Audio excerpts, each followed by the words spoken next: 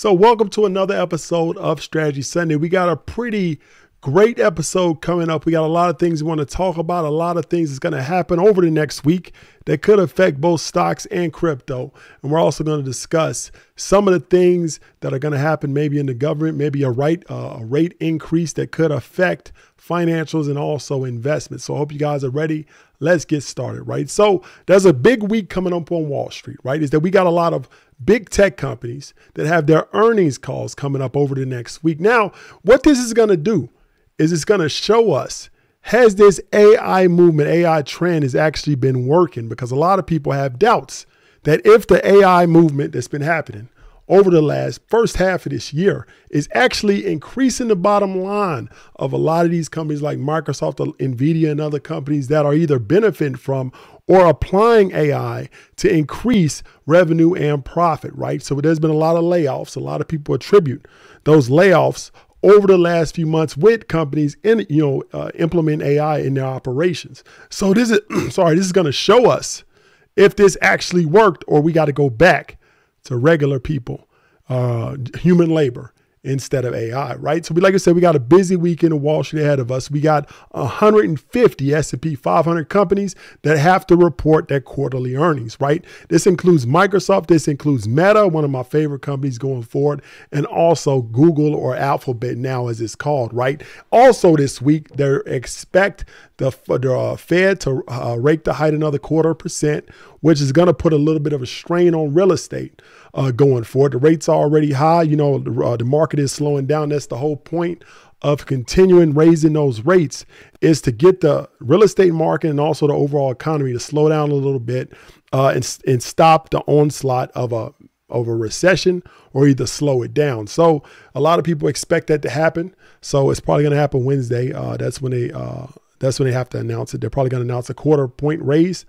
Uh, so it's going to affect, like I said, real estate prices and a lot of other anywhere that you loan money or borrow money is going to affect those markets, right? Tech giants like Microsoft and uh, Alphabet have to release their reports this week, their earnings reports. So we're going to see and get updates on artificial intelligence and see if that actually affected the bottom line like we thought, right?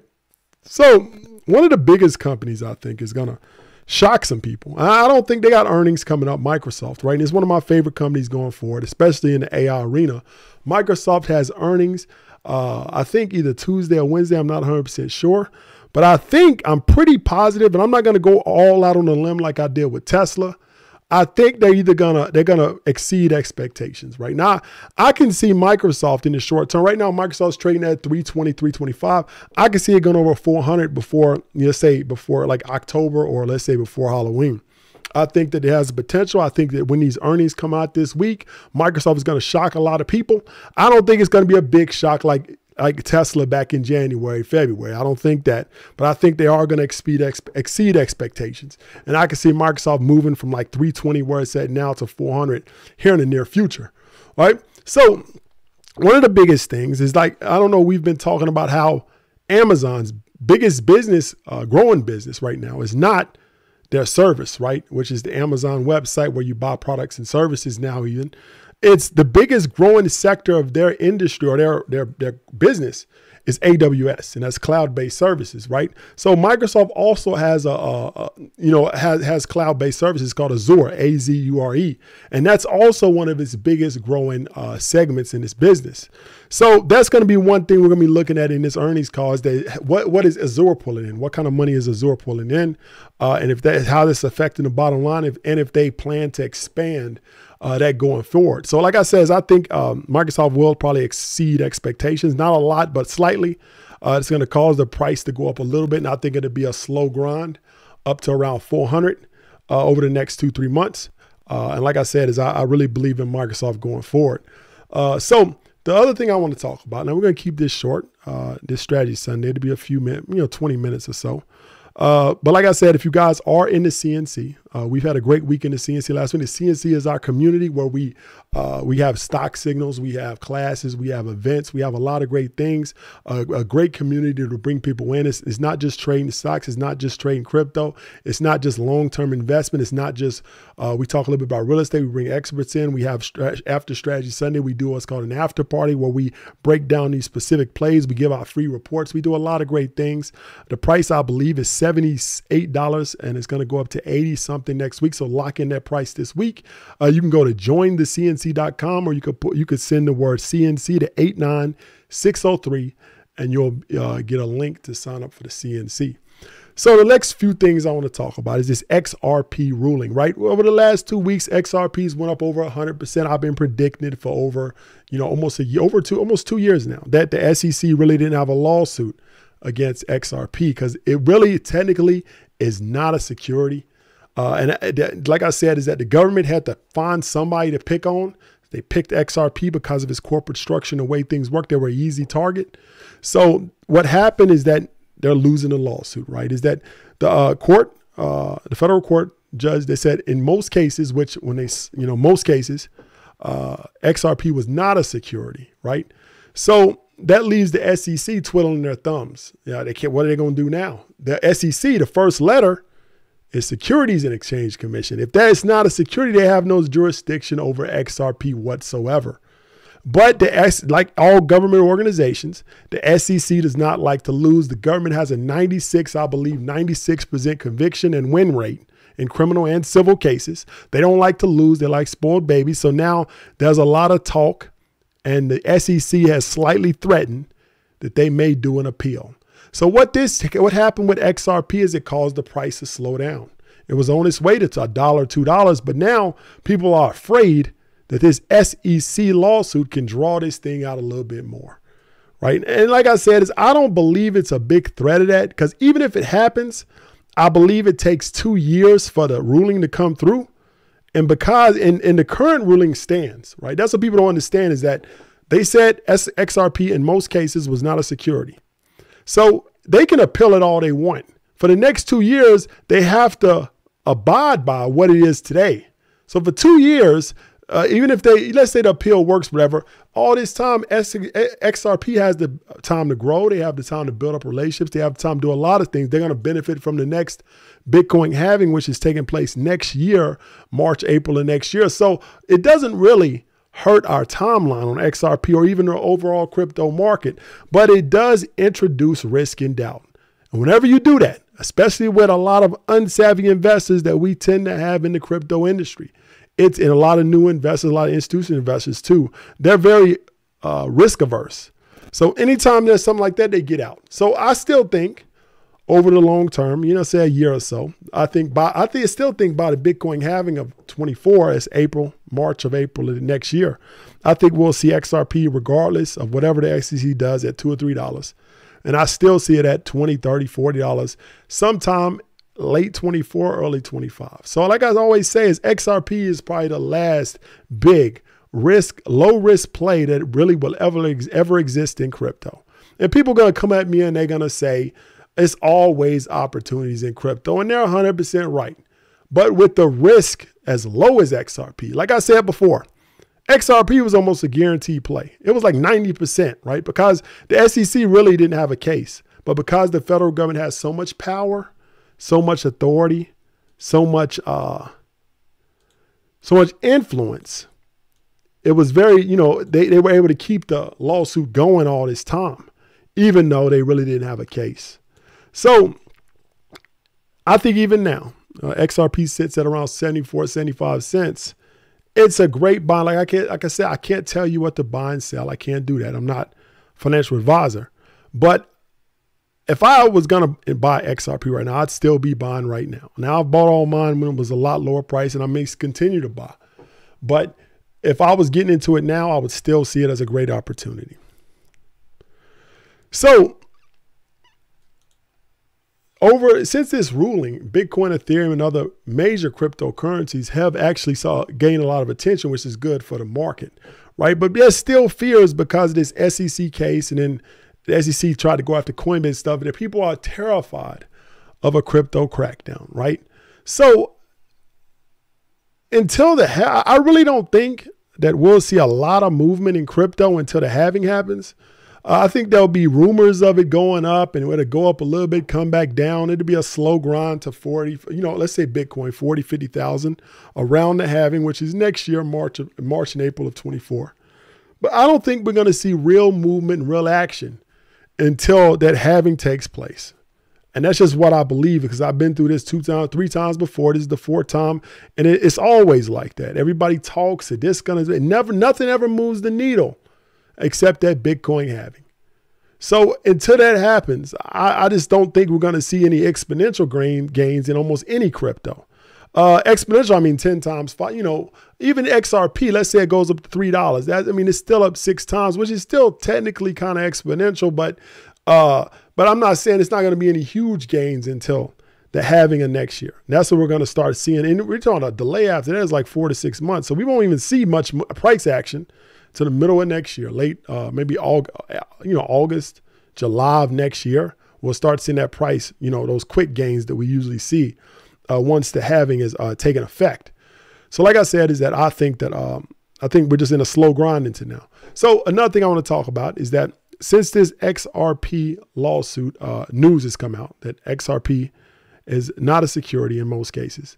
Uh, one thing I like to follow when I do a lot of trading, whether it's stocks or crypto or whatever, is I like to follow the big money. And if you follow the block, and the good thing about crypto is that we can always see what's happening on the blockchain. We know what wallets are accumulating, what wallets are dumping coins. It's a great indicator of what's coming next.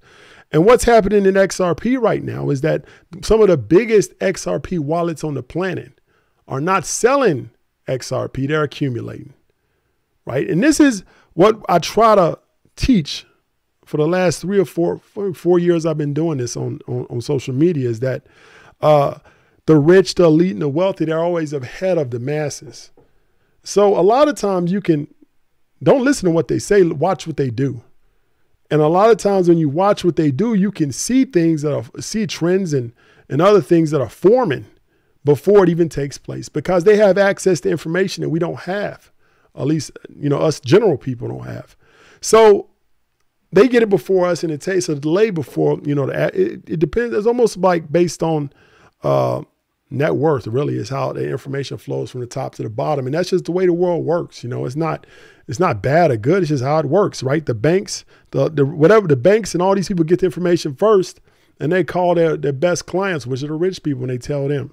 So it, it takes a while for it to get to you know the poor people or the middle class. That's how things work. That's why it's important to create circles of winners. That's why it's important to get the right people around you. That's why it's important to tap in to podcast and, and, and YouTube videos like this.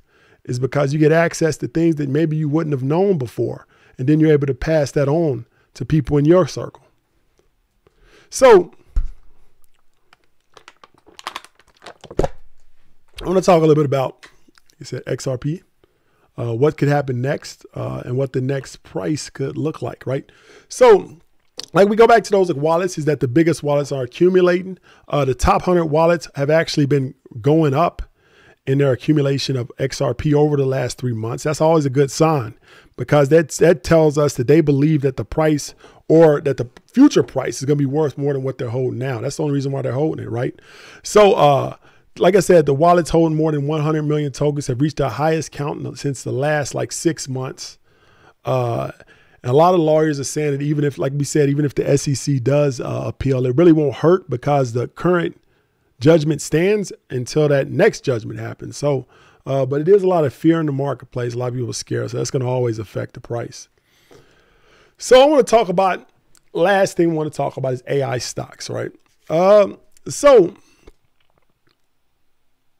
we've made a lot of money on AI stocks over the last six months. A lot of people have because AI has been hot and making uh, a lot of movements in both the real world and also the stock world. So I want to talk about two. You know, we talked about Meta. I still believe Meta is a is going to go up, you know, 200, 300% over the next few years. I still think Tesla is going to a thousand. I still think Nvidia can go to a thousand over this next year, next year and a half, all three of those. But there's a couple out there that I think are still eh, have potential and a lot of people don't know about uh, know about now, right? He said artificial intelligence is uh, is becoming a, a, a very crucial technology in our society, right? And it's happening faster than we know. Like a, a, the thing about technology is that it happens all the time, right? And this is why it's important. This is why I talk about in my book, The Strategic Millionaire. And like I said, you can go get it on Amazon. The Strategic Millionaire. Uh, it's it was it was a it's on Amazon. It's available on Amazon right now. You get it shipped the next day. And we talk about trends. We talk about how things form in the marketplace. We talk about these things uh, of how you were able to tell what's coming next. And one of the things in technology, uh, whether it's the internet, whether it's, it's cell phones, whether it's uh, the telephone or whatever, uh, whether it's AI right now. Well, you know, what happens is that whenever technology comes to being, right, or the masses realize that this technology is out there, it's, it's what we call a hype cycle. In a hype cycle, everybody's talking about it. Everybody's hyped about it. There's huge investments into the to the uh, industry.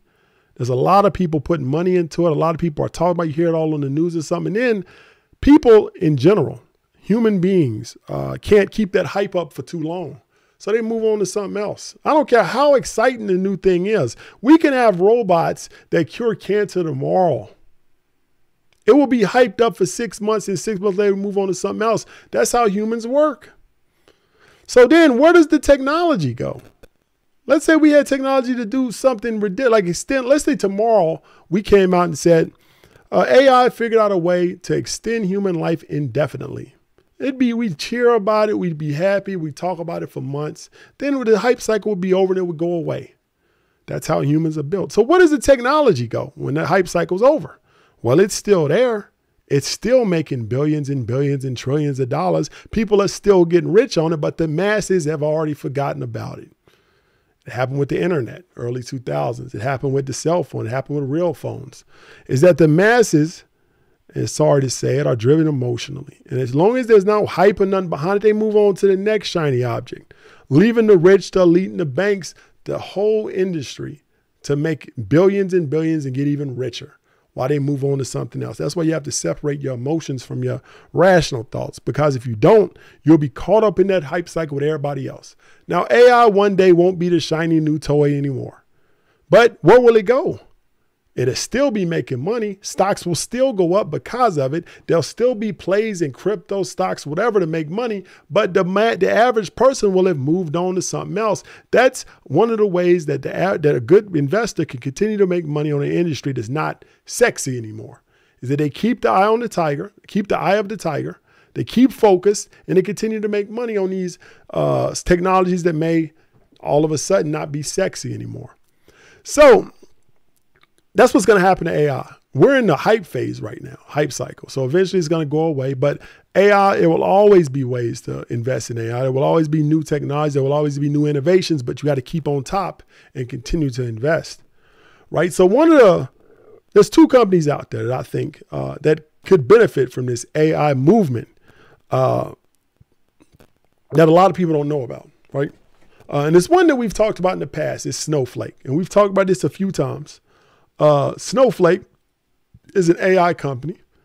Uh, and, and it, what it, what it, what, what Snowflake does is it's a it's a provider of uh, of basically cloud services, data, and data processing. But the data processing has to do with processor serve processor centers, which also process big data, which AI needs in order to work. The way AI works as of now is that we feed it a whole bunch of data and it makes sense of that data and then it tries to make predictions of the future based on that data right? So that's what i'm saying. If that ai could read a million books let's say and then you type in hey i want you to give me a sentence about the american revolution american revolution.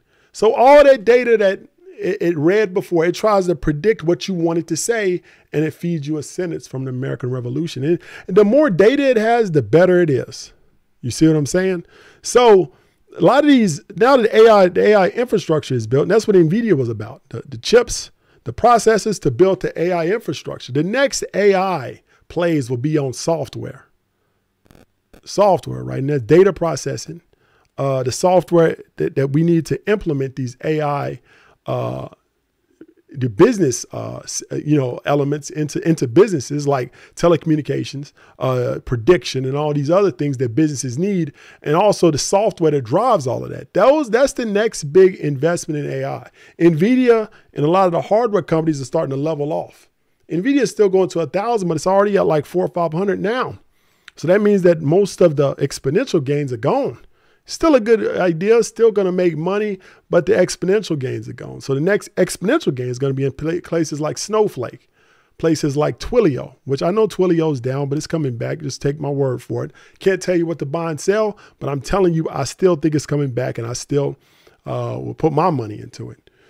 So another one out there is Roku, right? Roku is another one, uh, but it's a it's a AI stock that a lot of people wouldn't associate with AI. But AI does do targeted uh, ads, uh, which deal with AI, and that their ads are becoming some of the best ads in the industry because they've uh, heavily invested in artificial intelligence even before the Chat GPT and all this stuff. Uh, Roku's been invested in AI over the two years, and now is the time for those dividends to pay off. Uh, so Cathie Woods has actually predicted that there could be a 600% uh, increase in Roku shares by 2026. And I tend to agree with that. I think that um, Roku is becoming more less of a, uh, a uh, I guess a hardware company. That's where they started out. You play these things in the back of TV. Now the TVs come with Roku. So Roku, more or less, is now a software company, just the same as Microsoft. Instead of your computers coming with Microsoft operating system on it, they come with Roku. Roku runs the TV, runs the smart TV, uh, connects you to the internet, all of that stuff.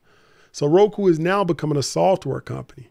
Software companies can make a lot more profit because they don't have to deal, they don't have to make one unit for every person. They just make one software and it spreads around.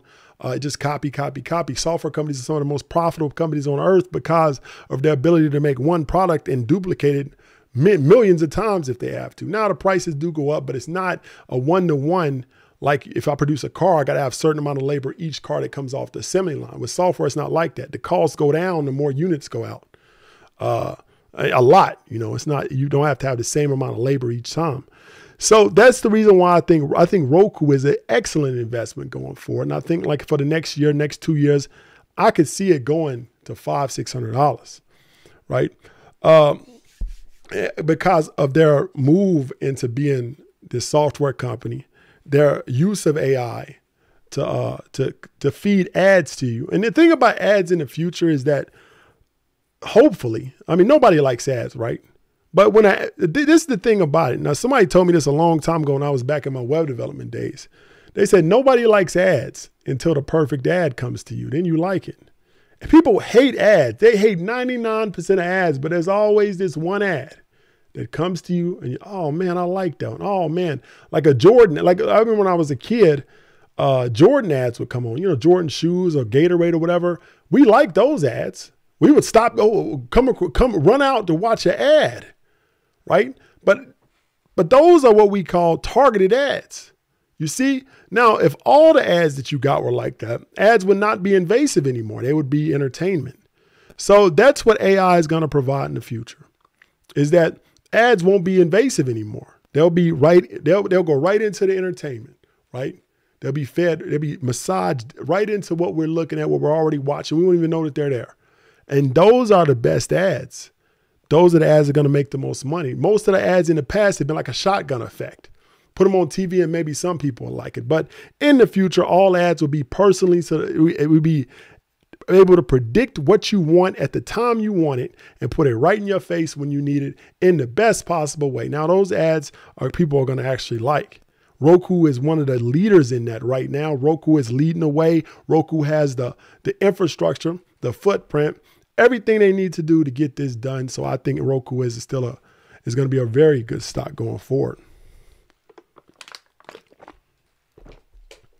So, uh, like I said, join the CNC. Last day, the last week to get it for $77. I think it's $78. Next week is going to 89 Click the link in the bio. Go to jointhecnc.com or text the word CNC to 89603. Or you can DM me on Instagram, Tall Guy Tycoon. Make sure you subscribe to the channel. I appreciate you. Uh, make sure you like the video and have a great night.